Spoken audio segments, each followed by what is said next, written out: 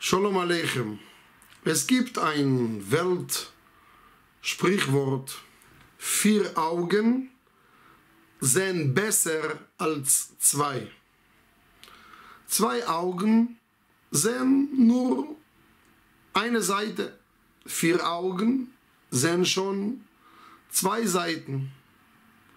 Wir wissen, dass eine von den guten Sachen am Leben ist, noch eine Second Opinion zu nehmen, noch eine zweite Meinung zu hören und nicht Entscheidungen alleine treffen.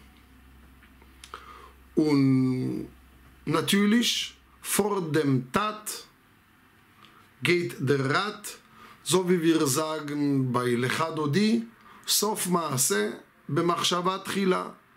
Ende von einer Handlung kommt mit einem Gedanke, mit Nachdenken, mit einem Rat zu holen. König Shlomo sagt uns, Utshua berov Yoetz. Die Erlösung, die Hilfe, die Yeshua, die Erlösung von dieser Welt kommt, wenn ein Mensch beratet mit jemand.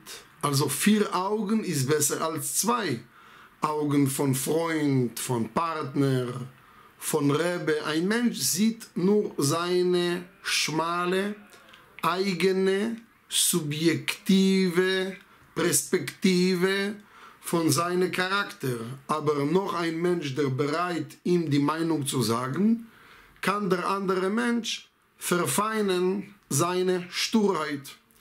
Und wir wissen, wie hat sich äh, Bruria geheiratet mit Rab Meir.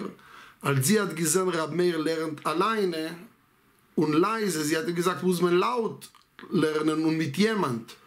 Und auch Achiteufel, als er hat gesehen, König David, der lernt alleine, er hat ihm gesagt, das ist nicht gut, muss man zu zweit lernen, weil zu zweit vier Augen haben, vier Augen haben Vier Augen sind besser als zwei. Es ist immer gut zu bekommen noch eine, noch eine Meinung. Schkoyach.